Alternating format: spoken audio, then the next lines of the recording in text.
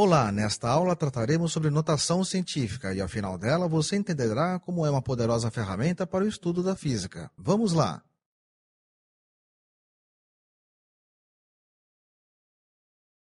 A notação científica é uma forma conveniente de representar números muito pequenos e números muito grandes. Através de propriedades básicas, podemos fazer operações matemáticas com esses números de maneira mais simples e assim facilitar nossos cálculos.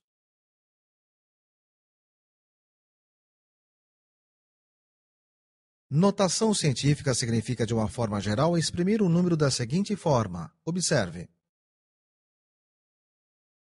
Onde n é um expoente inteiro e m é maior que 1 e menor que 10, sempre são utilizadas potências de 10. Por exemplo, sabemos que a distância da Terra à Lua é de 380 milhões de metros. Veja como esse número é enorme para escrever.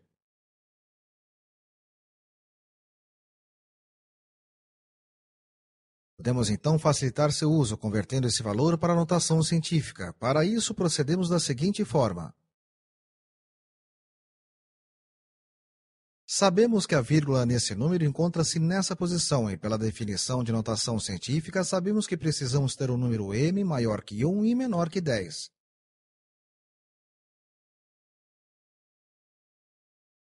Então, para obter esse número, deslocamos a vírgula para a esquerda. Acompanhe. O número n, que é expoente da potência de 10, corresponde ao número de casas que andamos com a vírgula.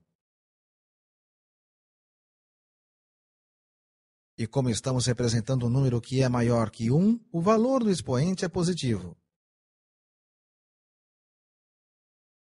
Temos então o seguinte resultado: 3,8 vezes 10 elevado a 8 metros, que é um número grande comprimido muito mais fácil de escrever.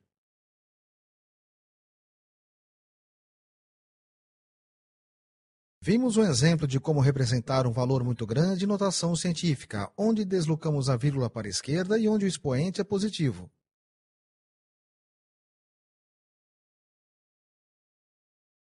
Agora veremos um exemplo de representação de uma medida muito pequena em notação científica. O diâmetro de um fio de cabelo mede aproximadamente 0,000017 metros.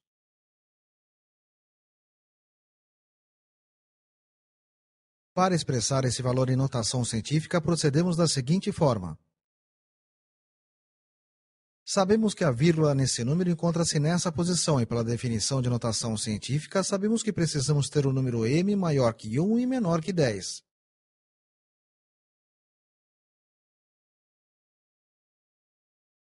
Para isso, deslocamos a vírgula para a direita. O número n, que é o expoente da potência de 10, corresponde ao número de casas que andamos com a vírgula. Observe.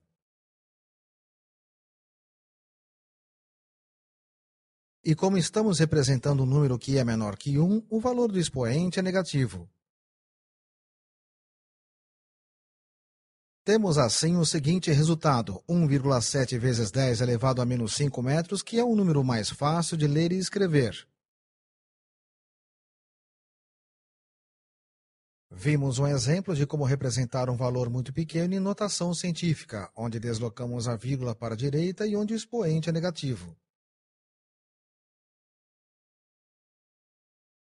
Chegamos ao fim de mais uma aula onde aprendemos sobre notação científica. Este recurso será útil no trabalho com números muito grandes ou muito pequenos. Vale lembrar que as operações matemáticas com a notação científica respeitam as mesmas regras aplicadas a qualquer operação com potências.